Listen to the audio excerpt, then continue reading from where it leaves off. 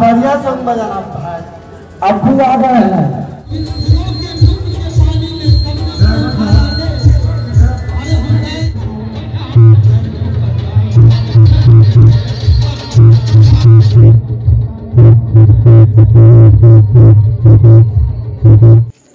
Guys अभी रात के बजे हैं, साढ़े तीन।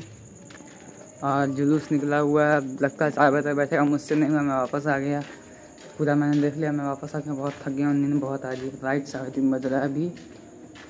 सो कल दिन वीडियो बनाऊँगा। आप लोग देखना थैंक्स